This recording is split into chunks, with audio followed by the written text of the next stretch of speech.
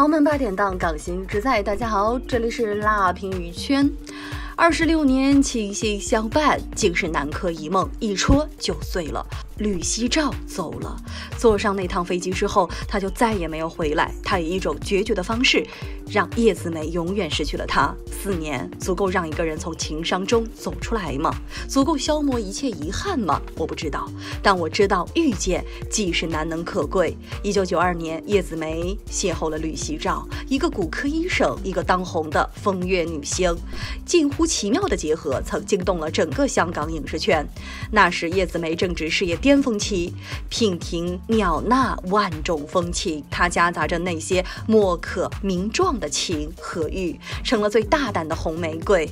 枝如凝脂，纤纤细腰，每一帧画面都胜过春风拂过，醉的深沉，比妖艳更魅惑，比妩媚更浓烈。抬眼之间，尽是脉脉含情，缠绵缱绻，温婉的、诙谐的、泼辣的，无论哪一种，他都能驾驭自如。风月片成了叶子梅演艺生涯的主旋律，性感也成了她最响亮的标签。情圣里一个撩肩镜头变成经典，她坐于副驾，长发随风而动，表情娇俏，手一扯，衣衫半退，眉眼撩人，无数宅男拜倒在她的风情之下，更有被迷到失去理智者。一个名叫陈立强的男人，因迷恋叶子梅不惜犯罪入狱，他是一名银行助理。鬼迷心窍之下，私自将一千八百万的公款转入到叶子梅的账户，不久之后就东窗事发，吃了牢饭。然而，就是在这爆红时刻，他却选择淡出演艺圈，为什么呢？他厌恶于那些只看身材不看戏的角色，陷入庸俗的演艺生涯，让他一度茫然无措。而就在这时，吕希照出现了。那天他腰椎有些不适，朋友给他推荐了一个脊椎医生，正是吕希照。叶子梅到了诊所，看到吕希照，一见倾心。他试探他的婚恋情况，离异带着义子，虽然不是未婚，但叶子梅不在乎。在他看来，吕希照是个值得托付终身的人，因为他尊重她，一个风月女性。在很多男人眼中，她的成功靠的就是姿色。跟吕希照接触之时，叶子梅也担心他会不会介意，她直接问他：“他们都觉得我是出来卖的，你不介意吗？”吕希照能懂，更愿妥帖珍惜。我相信你是一个有自己底线的人，就像我们做医生的，必须要有自。己的职业操守，也就是要有医德。我相信你也是一位有义德的演员。叶子梅深受感动，没人能抗拒一个满目关怀的人，尤其是叶子梅。是的，她是风月女星，非议和轻蔑早已成了弥漫已久的毒物，在身边久久不散。有一回，她被当众骚扰，那是她参加的一个工程剪彩活动，十几岁的少年丝毫不掩饰龌龊，一抬手就释放暗藏的恶劣与欲望。他摸她的臀，撩。他的胸，把他的身体当做任人摆布的玩偶，肆意招惹挑逗。起初，叶子梅只是当一场无心之失，不做回应。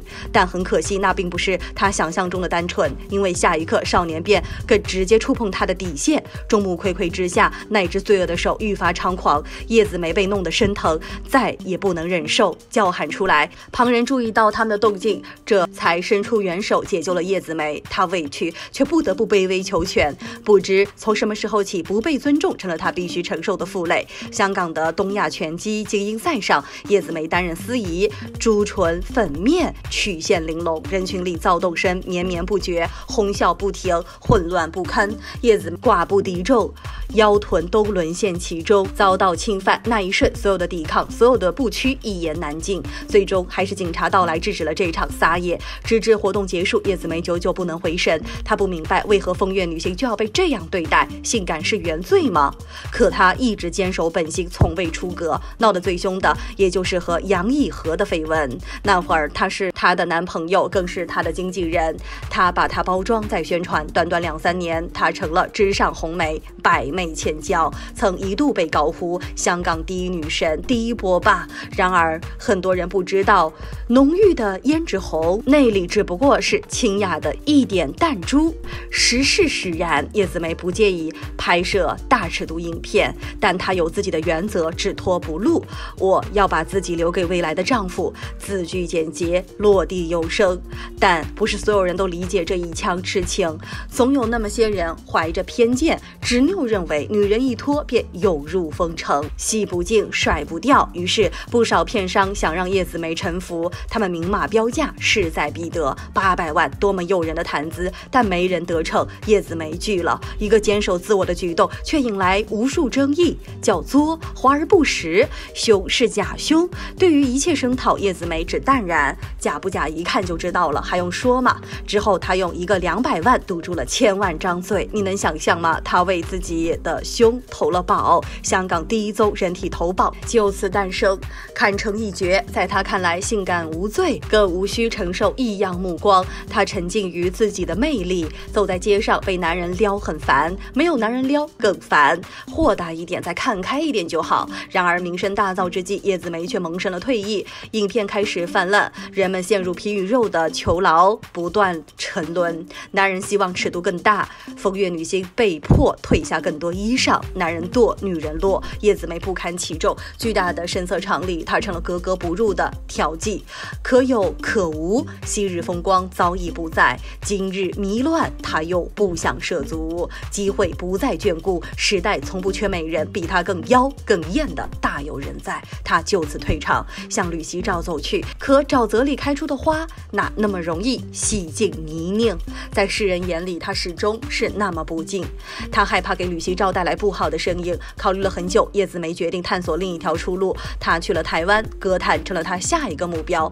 她找到好友齐晴，向他寻求帮助。很快，她出了第一个唱片，十分坦白，但很遗憾，反响平平。更多人想看到的是荧幕上的销魂倩影，而不是聆听留声机里平平无奇的沙沙女声。新开的路被阻，没了方向，叶子梅只能停住脚步。一九九四年之后，叶子梅不再驻足浮华香艳的娱乐圈，她珍惜眼前，把心思专注在了吕希照身上。她打包过往，缄口莫言，不再提往事，也不再贪红尘，活成一个平凡女人，上街买菜、打理家务，最琐碎的日常，在她的用心之下，处处都是爱的痕迹。她喜欢煲汤，她最爱喝汤。我很会做饭，她就是被我做的一手好菜吸引的。我最会煲汤，想不到吧？柴米油盐也有浓情，多么相称的两个人，但理想总自带残缺，那些残缺又总会变成遗憾。他们没有结婚，外面的人以为我结了婚，我一直都没有机会澄清。吕熙照的上一段婚姻给他造成了无法释然的阴影，他不肯再婚，落寞吗？不解吗？当然会有，满腔痴情竟换不来一纸婚约，任谁都会不甘，但又能怎样呢？初识两年，叶子梅也想过要结婚，可还没有实施。时过境迁，他看中的早不是那些浮于表面的证书，陪伴才是他的终极追求。其实只是欠一张纸，两个人走在一起，互相视为伴侣就足够了。他享受彼此间的空间感，也深知彼此的独特性。不逾规，不强求，他不逼他，他也别干扰他。在孩子一事上，叶子梅就坚持得很，他不想生，谁劝也没有用。他认为吕希照已经有一个儿子，无需再生。他们的爱情之路也有过动荡和风波，吵架、分手，但很快又复合。两个成年人就像两个幼稚的孩童，小打小闹又主动求和。他说他信缘分，跟他在一起那么久，我从来没有再出去结识别的男人。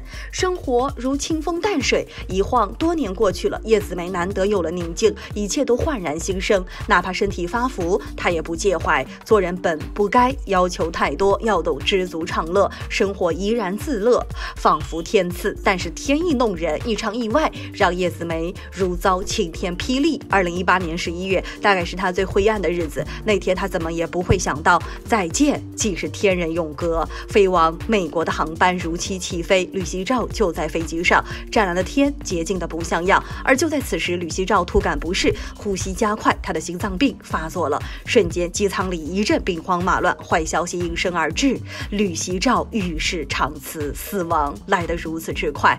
得知消息，叶子梅痛苦不已，她没有办法相信她的爱人就这样抛下了自己。她把自己封闭起来，很长一段时间，她都沉浸于苦楚，无法自拔，哭成了唯一的救赎。无论是做什么，走到哪儿，她都感觉吕希照不曾离去。她相信他一直在，只不过换了另外一种方式陪伴。她固执的倔强着，她牵着他们的狗，走过日落黄昏，走过斑驳回忆，两只狗成了一只，两个人成了一人。有人拍到他的照片，一身蓝衫，步履匆匆，笑容不在。无数粉丝看后悲从中来，红颜已老，传奇已尽，但迟暮的美人不能善终，一直活在悲伤之中。吕希照走后，他留下的那些遗产，他一分未取。悉数留给他的前妻和儿子，他是物质如泡沫，和吕希照在一起，金钱名分都不为他所求。投资理财，在澳门开茶餐厅，经济上他都靠自己。他只是爱他，需要他，他在就能为他荒芜的内心提供养分，焕发生机，也能让他漂浮于灵魂，打破虚无，给予慰藉。其他不过是幻影。如今距离李希照离世已经四年。对于一切意外，叶子梅已经释然。她说：“人生无常，她面对现实，面对所有的发生，没有办法，我要接受，接受人已去，接受容颜逝，接受美人老，接受吕希照三个字，仿佛一阵春风，吹过就散，什么也没有留下。而那空空的空间里，与他有着最好的往昔。好了，今天的视频就聊到这里了，欢迎在评论区留言讨论，请多多订阅和关注，我会持续为你带来更多。明星背后的故事哦。